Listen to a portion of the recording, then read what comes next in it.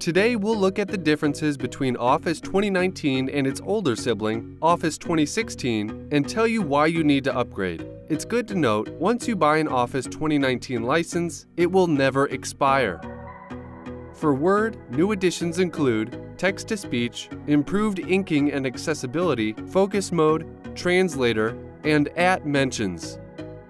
PowerPoint now boasts zoom capabilities for ordering of slides within presentations, ability to insert and manage icons, SVG, 3D models, and more.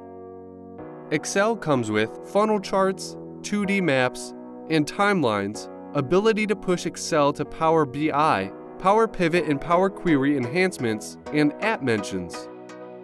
Outlook now has updated contact cards, Office 365 groups, at mentions, focused inbox, travel, and delivery summary cards.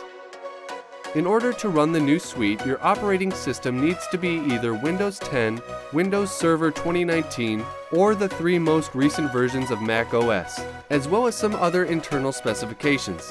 So, should you update? The simple answer, yes.